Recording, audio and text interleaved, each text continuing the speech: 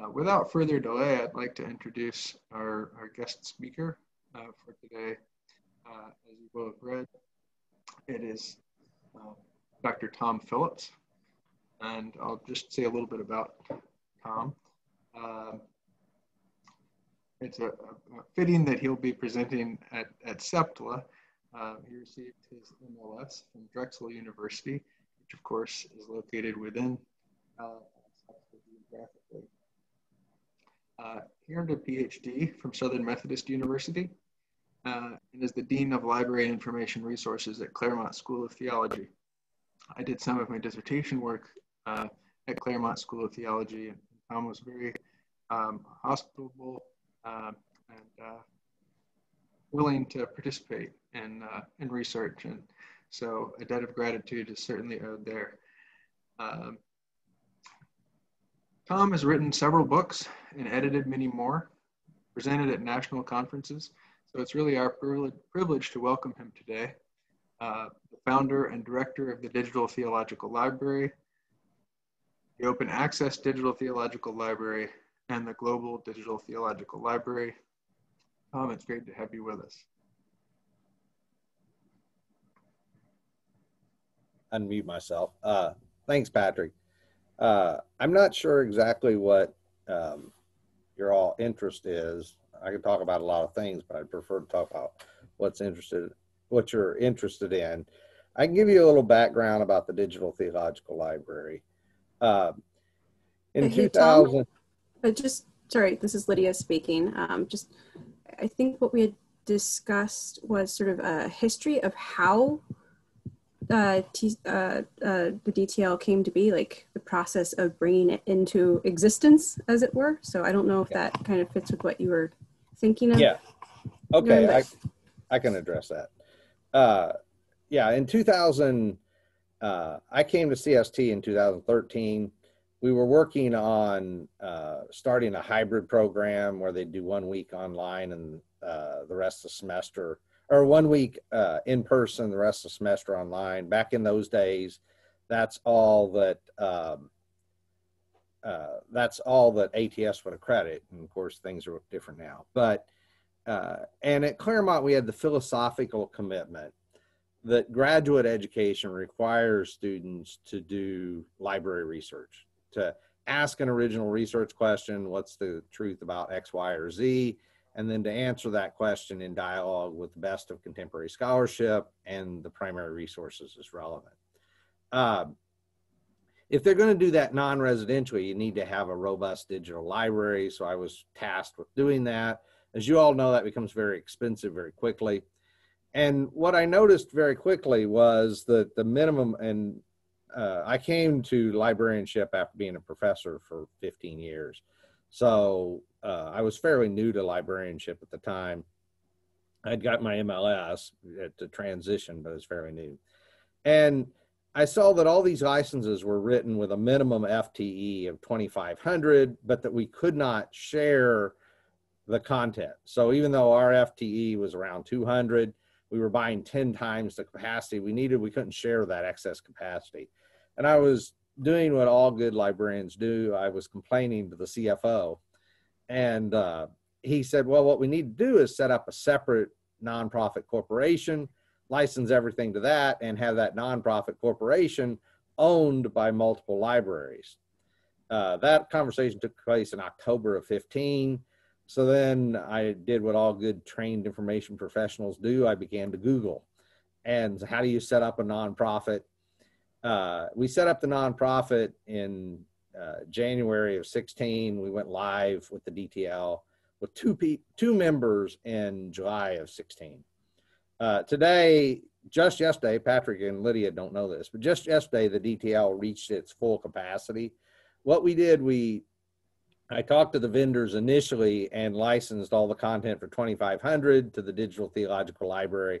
Said uh, we're only going by FTE, not number of schools. So um, the vendors went along with this. Then we got to 2,500. I saw that if we got to 4,400, we could pretty much uh, buy everything we were interested in, pay our people, and be self-sustaining without any. Uh, originally, the idea was that Claremont would subsidize the DTL in perpetuity pay a disproportionate share. But uh, when we moved to 4,400, that became unnecessary. Just yesterday, we had our 4,400. We have just shy of 40 schools that co-own the Digital Theological Library. So the process of how we did it, we had to set up a nonprofit so we'd have a licensing agency. Uh, I did a um, presentation on this at um, the 10 steps to set up the DTL at uh, in Europe a few years ago. If you want, I can send you the PowerPoint. Uh, but uh, the first thing we had to do was set up a nonprofit corporation. So we set up a nonprofit corporation. That takes a few months here in California. So we had somebody to license to. And then the second thing we had to do was make sure that every member that started uh, as part of this organization was in fact a co-owner of the nonprofit. And we did that so that we weren't a consortium or some third party licensing agency. We're one library in the same way that across street from me, the Claremont colleges or seven independent colleges, they all share one library in common in the middle of the library, in the middle of the uh, campus. And that's what we said. That's what we're going to do. But our campuses are going to be scattered all over the United States. And now then they're scattered all over the world. We have libraries in, in Asia, Europe, uh, across North America, um, one in the Middle East. But uh, that was the most important thing that we set up a nonprofit and we set up the nonprofit so that all of the participating libraries became co-owners of that library so that we weren't re- redistributing the licenses or we weren't uh, redistributing content licensed to one organization. And then for the governance every school has representation on the board. One dollar into it equals one dollar or one vote on the board and we set the fees based on the number of students. So some of the schools uh, that are startups that have you know single digit students are paying a couple thousand dollars. Other schools like Gordon Conwell are paying in excess of a hundred grand. Uh, but the idea is that we can build something bigger and better together than we can possibly build separately because we're sharing not just the acquisitions cost, but also the cost of librarianship because we're not repeating the exact same work across 40 different institutions. We're centralizing the work in one place, and that saves an immense amount of personnel cost. Uh, most of the schools that join the DTL, uh, like say, I think Matt'd be okay with this. New Brunswick, if if they tried to do something like uh, the kind of content we have in the DTL, if they tried to do that on their own, they couldn't even hire a librarian to make it work for the price they're paying for membership in the uh, in the DTL. But the central idea on the history, and I'll stop in a second, let you ask questions if you have specific questions, is what we had to do was set up a uh, 501c3 with uh, bylaws that were very clear that was co-ownership and co-ownership contingent upon annual membership fees. Uh, then we set up a governing board. Then we went to, I spent about six months between January and July just negotiating with vendors. I got a few to sign on early, and then as we became more established, now then people reach out to me all the time and want to do business with us because, quite frankly, we have a more robust acquisitions budget than most theological libraries. But the hard part was convincing people to start out with, no, this is something different. And everybody said, oh, so you're a consortium. No, we're not a consortium. We're a member of a consortium, SCELC. But what a consortium does is negotiate the price, and then each member can decide whether or not they purchase that content directly from the vendor for that price. What we do is we are one library co-owned by almost 40 seminaries around the world. Um, that that's sort of a quick version. If you have specific questions, I'm happy to answer them. My wife said last night, "You're going to give away all your trade secrets." I said, "Well, not really trade secrets." But if you have questions or comments, or even uh, if you want to see what the DTL looks like, I'm happy to do that. The other thing I would say is we got really aggressive early on curating open access content. Uh, we used OCLC's WorldShare as our discovery tool. Uh, the DTL doesn't even have patron module because we don't need patron accounts. We're not checking anything literally out. Uh, so we only have the uh, discovery and the knowledge base. But we got very aggressive about curating OA content. And then when we got to about 100,000 OA con- titles in our collection, uh, we created the Open Access Digital Theological Library, which is free for everyone everywhere in the world. We have uh, about 100,000 regular users now in uh, over 180 countries. So it's really uh, aggressively used. And like I said, that's free for anyone anywhere in the world. That cost us about 5,000 because all we have is the discovery. We don't even have an EZproxy for that since it's free. And we just copy the collections from the DTL to the OA DTL to make them available to people and then uh, we started that I think in 17, and then last year we started the global DTL, which is on the same model as the DTL, but it's only for schools in developing nations. We have about 40 schools involved in that also. We use our vendors of goodwill, we call them. Our vendors of goodwill have given us extraordinarily good deals on stuff uh, so that we limit it to schools in developing nations and that's not limited by FTE. We could have every school in the developing world uh, join that if we wanted. Uh, some of the vendors actually give us that content. Others uh, provide it at deep discounts. Uh, but we're we also run so now we run those three libraries: the global for the developing world, the digital theological library, which is robust, comprehensive research library for developed nations, and then the free version, the OADTL. Uh, if you have qu- specific questions or comments, I'm happy to hear.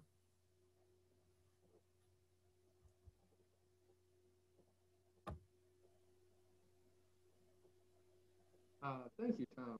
I, uh, I, I thought that you know, the, the model of the DTL uh, seemed very innovative. And hearing it now that it really started with the conversation with your C- CFO, um, I guess that's that's how it started with with thinking you know thinking a little outside of the box of normal you know library operating procedures.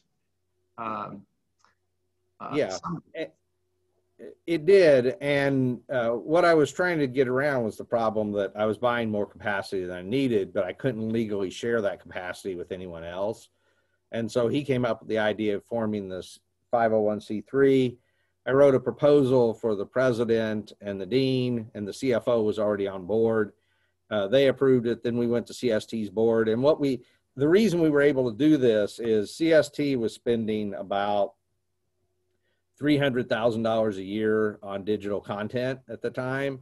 And so I convinced the board to actually turn that $300,000 a year over to the DTL on the hopes that the DTL would take off and in the long run save them money. Um, it did work out that way, but it was a big risk for the board to take because had the DTL failed, then they would have just lost that money. Um, so you really need uh, the big part if someone was going to replicate this project. The hard part would be finding either a cohort of schools that say we're willing to buy in initially for the startup capital or external funding that was willing to do that, or one school that was willing to put their money in it. But you you somehow have to come up with a startup capital. That's the real challenge. And depending on your state law, uh, starting a nonprofit corporation can take several months. Uh, and then there are all kinds of compliance hoops that you have to figure out to maintain your nonprofit status with your state and with the feds. But um, yeah, it's we we're considering starting a DTL too, but since we just filled up the DTL yesterday, that's that would we'd have to talk to the board about that. It would take a while. The other thing is when you're starting, you have to be emphatic with all your vendors uh, this is one library.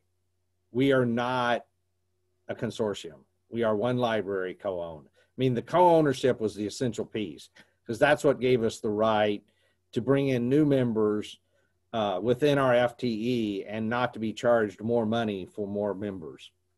Um, yeah, that that was essential. Um, and if somebody was going to do this, I could tell I could put them in touch with the companies that are easiest to work with. At this point, the only the only vendor who will not work with us is Atla. because Atla's model is based on uh, selling their product to each and every seminary independently, and the DTL uh, is a mortal threat to their business model. That they're afraid, uh, so they're the only ones who won't license us now. We have relationships with over hundred vendors. Uh, our acquisitions budget's half a million dollars a year, so we we buy aggressively. We're also getting into controlled digital lending now, but that's a different issue. So, Tom, how I just sort of thinking. I know that um, you said that the DTL just sort of finished getting filled up. So, um, I, one of the reasons that we wanted to invite you is because this is we've talked for years uh, as a consortium about doing something similar to the DTL, but we've never sort of had anybody who was able to kind of spearhead it and lead it into an actual completed project. So I guess what would you say was kind of the time investment in getting it off the ground in the first place? Yeah. From your uh, end. Yeah, that the CST was all in on this so uh, you know we had five people six people in the cst library at the time um, that i was in my office every morning between january and july of, of 16 at six o'clock in the morning and didn't leave until six o'clock at night and that whole time i was on the phone uh, convincing people uh, that this was a good idea that we should do it that uh, the vendors should go along uh, the some of the first vendors I got were sort of marginal to religious studies, and so then what? Finally, I got to the point where people and every conversation takes forever. Like, oh, what are you doing? Oh, you're a consortium. We already no, no, we're not a consortium. Oh, well, and then you talk somebody into it. You know, some salesperson who gets paid by commission, and then they go talk to the boss and boss say no no that's a consortium then you have to start the conversation over with another level then you'd get convinced a regional sales manager then you'd have to go to the national sales manager then you'd have to go to the vice president that's why it took me six months uh, but i mean I, essentially I, that's all i did for six months uh, 12 hours monday through friday. I, every morning because these people were all on the east coast and i was on the west coast i had to be in my office at six o'clock. Otherwise by the time i came to my office at nine they'd be out for lunch. Then i'd go to lunch come back and they'd be they'd start to leave for the day. So yeah. Uh, but it, it's an immense amount of effort uh, and anybody didn't think so would really be underplaying it. Um, and then uh, it would be easier for us to do something now because we already have all these vendor relationships. Uh, here's the one thing i would say. Be brutally honest at every point. Uh, and that's not just ethical advice, it's practical advice that uh, because you're trying to do something that they they're going to figure out the scam the truth anyway. They're going to get the dirt on it anyway.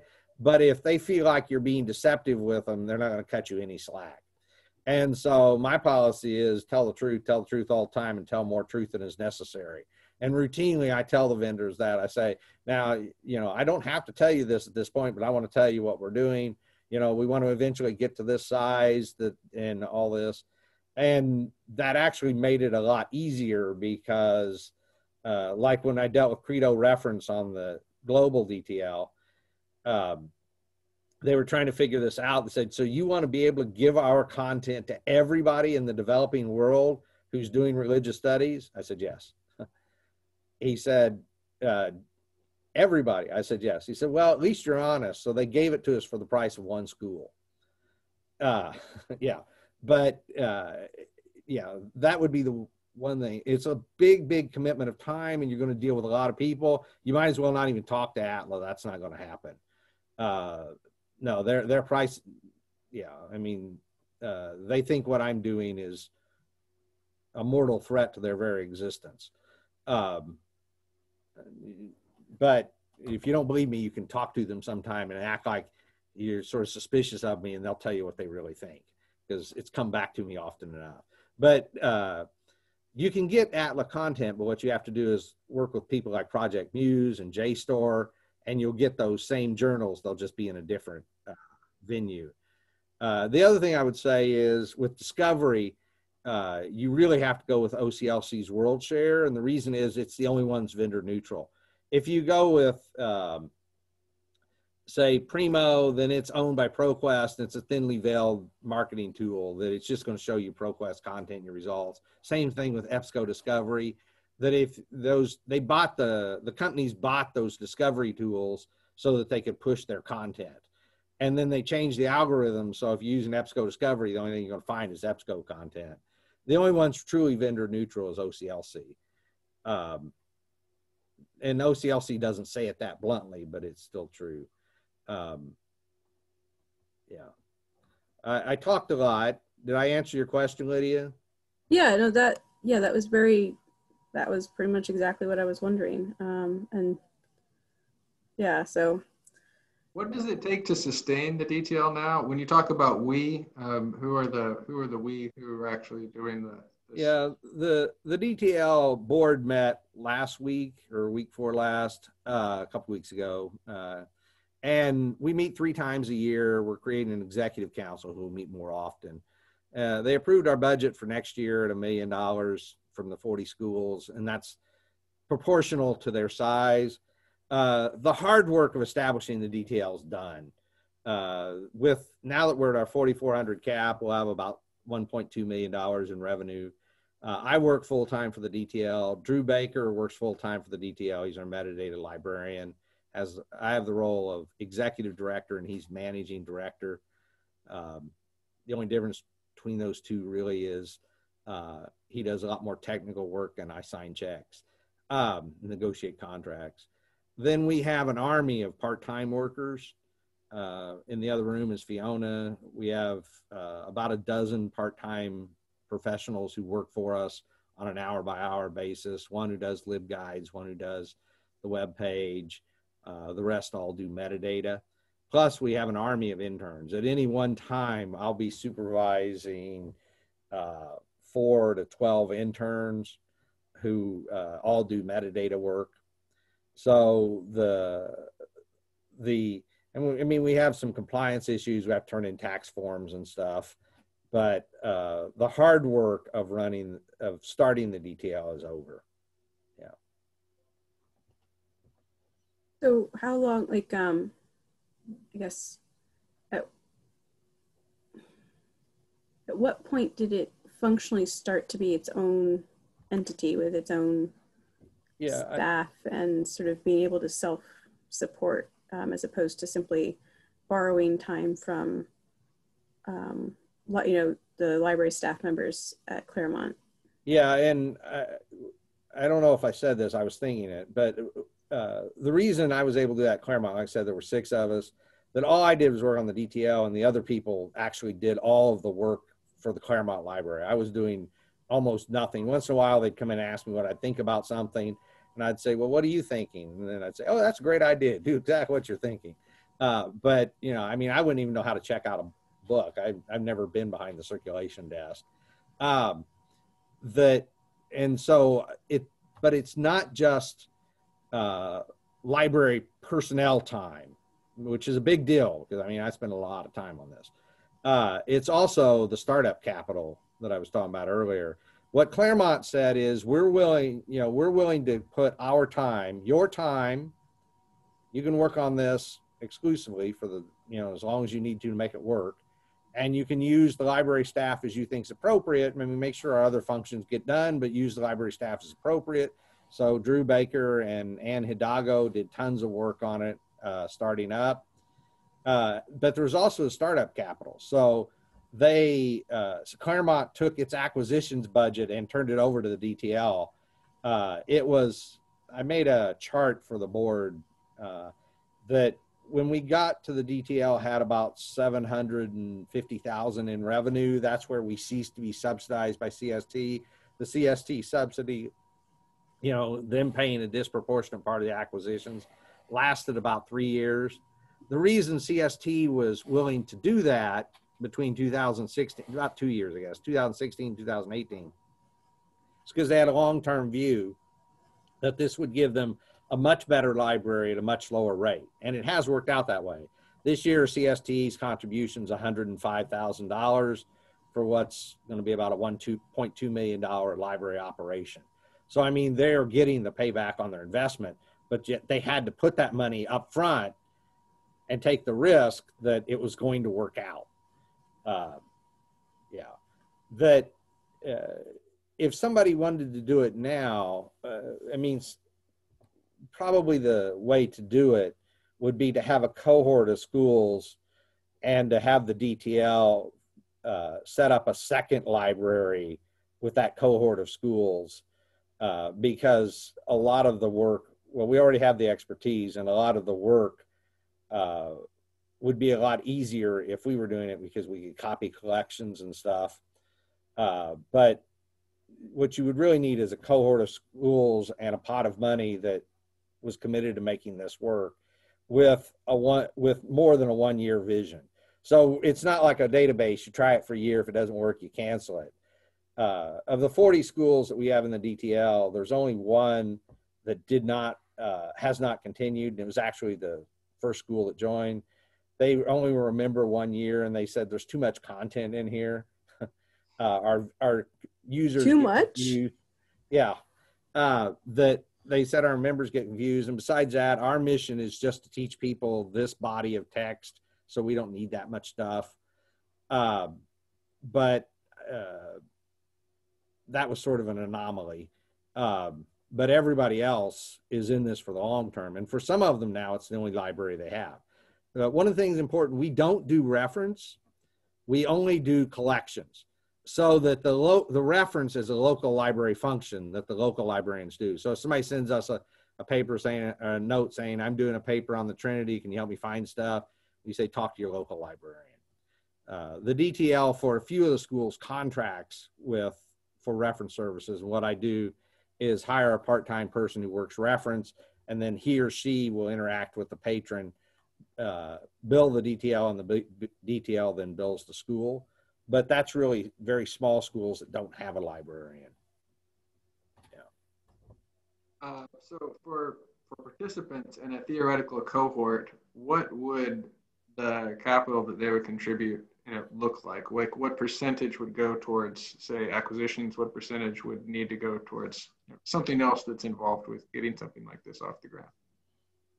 Well, the average uh, academic library um, spends a or the average academic library spends about 40% of its revenue on content and about 60% on other other support um, to be honest we haven't thought enough about this question uh, because a lot of it would be uh, duplicate effort or would be uh, there'd be an economy of scale that would be in a but what I would say is you'd probably figure half of the what was spent would be directly on content. The, uh, that's about what the DTL does.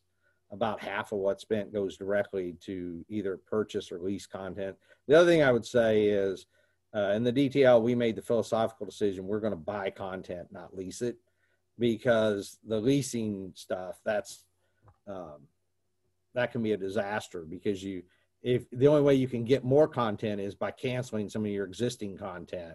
We also are really big fans of patron driven acquisition. So like um, we buy all of Bloomsbury's content. You know, we've already bought the content for next year. Uh, we buy all their content ahead of time, but uh, uh, like Wiley and Francis and Taylor, we have tens of thousands of their volumes and it's purchased and it's uh, evidence based. So we send them like 20 grand a year. They give us access to everything at the end of the year. We turn some over to long term. But I, am really skeptical of leases and that system. So we do uh, we do a lot of firm orders through GOBI too. But uh, I, to answer your question directly, I'd say probably around 50%. The other thing I would say philosophically to think through is if you're going to do this for databases and with journals, you almost have to do leases, databases, or if you're going to do it with books. If you're doing it with books, you can buy them and own them and uh, have permanent rights. If you're going to do it with journals, you're pretty much permanently relying upon your third party leasing agents uh, because they're the only ones who really have the article level metadata. My advice would be just concentrate on books. Thank you, Tom. And the vendors are way, way more generous with contracts on books than they are databases and journals. Way more generous. Uh, are there other questions from the, the member libraries here? Tom, could you say a little bit more about your forays into CDL? Yeah, we just started that. What happened was Claremont is moving, the school is moving to Salem, Oregon to embed in Willamette University. And so the president called me over and four year, three years ago, before the faculty knew anything about it and stuff, said, Hey, here's what we're probably going to do. You need to price out building a new library up there. And I said, You're going to get sticker shock. Libraries are expensive. And then moving it's going to be really expensive. Uh, my suggestion is don't do it. And he's like, What? The librarians tell me not to build a library? yeah, that's exactly right. So what we had about 300,000 dead tree books. so what we did was, uh, and by the way, on the DTL, uh, when I got here in 2013, uh, the previous year we'd had 48,000 print transactions. We have a PhD program, so we have robust research projects going on, and our faculty publish regularly. But 48,000. Uh, last year, last year the CST traditional library was open. We had 7,000. The reason is everybody shifted to the digital content. Um, but what I told him was, let's move 20,000 volumes, and that'll be everything that's not in the DTL and that has been used in the last 15 years, and everything that is mission critical, like Methodist stuff, or uh, particularly valuable. This is about 20,000 volumes. Um, he, he went crazy, and so we ended up moving 50,000 volumes, but uh, and put them in the Hatfield Library up there. So we did away with our special theological library. But when we did that, then the quarter of a million books we had, what are we going to do with these? Uh, I talked to the Internet Archive, and the we we donated all of those to the Internet Archive, quarter of a million books. They're going to put them in their control or in their uh, controlled digital lending project, which was the first time I'd heard of controlled digital lending, and it's like, hmm, that's interesting. Uh, and so after they moved those, then the DTL started doing the same thing. What we do is um, we buy print books, we guillotine them, scan them. We buy a, usually buy a new copy to begin with, and then we buy three or four of the oldest acceptable copies on Amazon. And then we go to used book sales. We have a, a theological library. Yesterday, I bought uh, 2,000 books for $3,000, religious studies book from a used book dealer. I'm going next week to pick up uh, uh, about another 4,000 from a theological library that's downsizing. But what we do is get the books we want, guillotine them, scan them, keep track of how many copies we have. We make that many copies available to our users. And we don't allow downloads for those because if they downloaded them, the idea with controlled digital lending, for those of you who haven't followed this, the idea is a library can buy a book and first sell, they can loan that book out a thousand times, but one person at a time. Controlled digital lending works on the same principle. We'll loan out, and say we have five copies in storage, we'll loan that PDF out to five people at a time, but only five people. So one print copy, one digital copy available. So uh, that's what we do. Um, and then we don't allow downloads because if they downloaded them, they would be able to keep them forever. And we that ruin the one-to-one principle. Um, but they can view them online and they can print them out one page at a time through their browser if they want. They just can't uh, print out the whole book and they can't download the whole book so that we comply with copyright. Uh, we don't use uh, Adobe digital editions like a lot of people do. Instead, what we do is we send them to our Dropbox account, which is protected so not anyone can get into it. And then we look at the statistics to see how many books, how many copies of a book have been used. And if one's used uh, more than we have copies, we buy another used copy and throw it in storage. But that doesn't happen very often. Uh, typically, we when we acquire a book, if it's one that we think uh, is like, uh, say, Anchor Bible Dictionary, we just buy three or four copies to begin with and throw in storage. Or if it's a textbook, like there's a Hebrew textbook people are using, we have 10 copies in storage. Then we just scan through the usage statistics on Dropbox and see how many simultaneous users we had. We haven't had a problem with hitting limits, but that's the method we use. Um, it's the metadata work is kind of laborious because we send them from WMS where they do discovery into our libguide page, and that libguide page is IP protected. Then it has the password at the Dropbox where we send them the Dropbox, they enter the password, and they can see it. So they can view it online, they can print it out a page at a time, just like photocopying it in the library, but they can't download it for the controlled digital lending. Um, and it gets a lot of use. And there are a lot of books that you can't get at any price digitally that like Anchor Bible Dictionary, Interpreter's Bible Dictionary, Interpreter's Bible Commentary, lots of things like that that we've digitized. Uh, we're probably, I need to talk to the board about this, but we're probably going to make that CDL collection available to libraries and maybe eventually to individuals on a sort of a Netflix subscription model. But I've got to talk to the board about that and get board approval before we do that. But that's the long term plan. Did I answer your question, uh, Greg? Yeah, thanks, Tom. It's really interesting. Thank you. Uh, there's a group called CDLI. Um, I don't remember. The CDL is Controlled Digital Lending. I don't remember what the I stands for. Uh, there are a lot of R1s involved in this, trying to figure out the best way to do controlled digital lending. We meet once a month to talk about it. Uh, if you send me an email, I can uh, hook you up with that group. But they're kind of secretive because they don't want publishers. They don't want publishers going in there to try to figure out how to wreck it. Um, so, but I can hook you up with that group.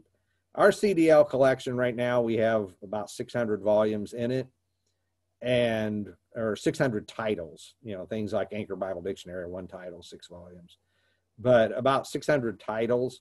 But we're adding things aggressively. We add a couple hundred a week.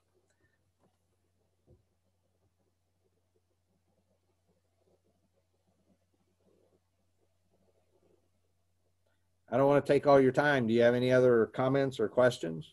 Can I jump in for a minute? This is Evelyn from Princeton. Can you hear me? Um, Hi. yeah. Hi, Tom. Uh, you probably already know from my email to you that PTS is involved in CDL, um, and Greg, of course, leads that initiative. I'm, I'm curious to know for the donated collection to the Internet Archive, which is a wonderful thing. Thank you very much for doing that. Did they give you any kind of a time frame for getting? did. Oh, yeah. uh, I uh, that because we were the first ones to do this, and then Evangelical, which is there in Pennsylvania, maybe somebody, uh, I guess they went. Uh, Evangelical merged with another seminary. They were there in Pennsylvania. They were a member of the Digital Theological Library, and uh, when they closed, they donated about eighty thousand volumes to the uh, to the Internet Archive also. And then what they did is merge their membership in the DTL with the other schools because uh, one of the things their board insisted on when they closed their campus was that their students didn't lose access to the DTL. But they gave me a time frame. I've worked with uh, Brewster and Chris and um, Jordan there a lot. Uh, trade a lot of emails and texts with them. Uh, they're very easy to work with. They say that now our books are in the Philippines. They they took them off campus in June. They are in the Philippines where they will be digitized. Uh, they said that uh, two to three years for the full collection to be digitized and available. They said um, that's working at their sort of their normal pace. I don't know how much you know about the archive, but of course Brewster has billions and he funds it and what he cares about he funds but they said probably two to three years uh, for the full collection to be accessible through controlled digital lending in the archive. Uh, and they were really, really excited to get this collection because it was a curated library collection. Uh, interestingly, now the Internet Archive is quickly becoming one of the largest theological libraries in the nation or in the world. Um, and uh, That's good for us. yeah. Uh, We do actually, just to follow up, um, we have been involved with Internet Archive for some time. PTS has been hosting a regional scanning site in our building since, Greg can correct me on this, but I think since around 2008. That's Yeah. right. Uh, and uh, the difference is, of course, the stuff we were doing wasn't just public domain, but it was in copyright. So they're doing the controlled rather than Yeah. the, uh, than the uh, free to read collections. Um, that uh, the problem is for the things you most want, you're going to have a wait. You know, like like if you wanted, say, Anchor Bible Dictionary, they only have volume six, or last time I checked, they did. Uh, so some of the things you most want and uh, aren't there, or some of the things you most want are going to have a wait. You know, if you're talking about like uh, that Hebrew textbook I was talking about, if they have a copy of that, you know, the students couldn't ever count on it being there you know, or being accessible. There would always be a line uh, to get access because of the one book, one one user rule. I will put it out there that we've been uh, taking some opportunistic um, advantage of what we put into our CDL collection, but I'll put it out to the community that Princeton is happy to have a conversation with SEPTLA and with you, Tom, about how we can help in the things that we put forward in our collection for the CDL. So if there is a way in which we can coordinate and be of assistance to the community, we're happy to have that conversation whenever. Here's what I think would be really good. Uh, that if we set up some kind of exchange, so people could exchange the PDFs. So we didn't have the cost of the scanning because, you know, we can share the PDF. Now, we would have to make sure that people who got the PDF then see, uh, sequestered their print volume so that we really do, we're doing controlled digital lending. But if there's no reason for every one of us to make this a PDF of the very same book. So if we had some kind of place where people could share the PDF, and then that doesn't alleviate people, I want to be very clear on this, of the responsibility to own the print copies so it is controlled digital lending and own print copies that are not in circulation. But if we created some system so the books we've digitized that you could have the PDFs and then not have to make them yourself and vice versa and do that on a nationwide scale, we could really step up controlled digital lending. Um, that that's one way that we could certainly cooperate with each other. I think that's a really interesting idea. I, and I apologize, I don't mean to take over this meeting or continue this conversation, but I would really like to continue this conversation. And I wonder if um, we might, in, if I might entice Michelle Wu um, to join in this conversation from the legality point of view. She's the one that gave us the advice and talked to our vice presidents in order to get them, you know, to say, yeah, Princeton is all in with this. But that I think might be a useful added voice in the conversation to figure out how we can do what you want to do and how we can do that in a way that protects our uh, institutions as well. Yeah, yeah. I'm happy Uh, to reach out to Michelle and see how we can get that going and then to reconnect with you. And then Patrick or the executive team of SEPTLA can let me know who else would like to be involved in that conversation. And Princeton would clearly have a big target on its back because it has an endowment that could be. That's right. Yeah, I mean, your endowment makes you a target for the bloodthirsty lawyers.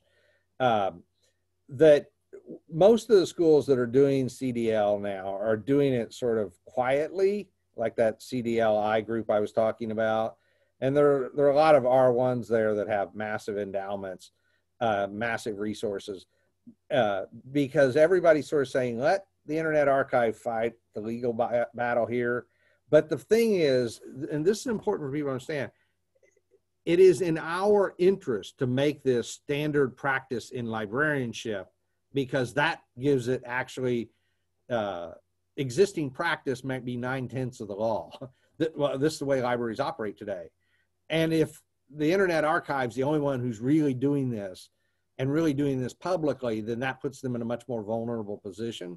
So the more common the practice becomes, the more standardized it becomes, the better its legal standing as the Internet Archives fights through this legal battle over the next several years. But to be clear, the Internet Archive is all in on this. I mean, they, the Brewster has has a whole team of lawyers that he's paying scads of money to fight this, and I'm pretty confident that CDL will become a given uh, in the time frame going forward. Otherwise, I wouldn't be investing all this money in these print books. hmm That's well, that's our hope as well with CDL. Sorry, But Patrick, I see. Yeah, no, I, I, um, uh, Evelyn, I appreciate your, your offer, um, uh, to meet and, um, uh, to, to make, you know, uh, uh, Michelle Wu, you know, uh, part of that conversation. That, that I think that sounds, uh, that makes a lot of sense. It's really exciting as a SEPTLA member library, um, to, uh, uh, to hear, uh, about the CDL that's already been going on at Princeton and, uh, to have you know, an ATLA um, affiliate um, uh, from, from Claremont and the DTL um, talking about this in earnest. Um, the idea of sharing the PDF, you know, I hadn't heard about that before this meeting, and uh, uh, it sounds really innovative in addition to some of the other innovative approaches uh, that we've been hearing about. So, um, so this has been very encouraging. You know, uh, SEPTLA many years ago had a um, a robust union catalog of periodicals. Uh, member libraries uh, were uh, uh, vigilant about sharing their resources in, in ways before um, OCLC uh, uh, changed a lot of, of, ILL. And I think um, in general, our member libraries would be eager to, to learn more about this and to see how we can get involved you know, for our mutual, our mutual benefit and perhaps more broadly, uh, even nationally. So it's a very exciting conversation. I'd like to thank our, our, our guests, Dr. Tom Phillips, for his time today uh, and speaking to us about the DTL. Thank you very much, Tom. Yeah, thanks, Tom. I really appreciate it. Uh, one thing I would say, if if you're going to do this, uh, you want the libraries to be in control of it, not a third party. Yeah, that that was one of the things we were emphatic about at the DTL. That the libraries that are members of the DTL are actually the board. It's not a separate board. It is the librarians, uh, because um, you you don't want the you don't want somebody else controlling your collections. Now you may control them collectively, which is what we do in the DTL, but you don't want somebody else who has who owns uh, the rights here and owns the system, and then you're at your mercy, be, at their mercy, because uh, even if it's a nonprofit, that's not a good way to go. Uh, the other thing I'd say is if you do this, talk to me because the folks in the SCATLA, Southern California ATLA, may be interested in joining together with you and the kind of project we're talking about. It wouldn't matter, you know, if you're on east co- each coast. Thanks for your time. Oh, very good. Thank you again, Tom. Uh, Patrick and or uh, Evelyn can either and Lydia, I know all, and they can put you in touch with me. I'm happy to talk to you. We'll do Take that. care. Thanks again. So I'll leave now. Okay. okay. Okay. Bye. Uh,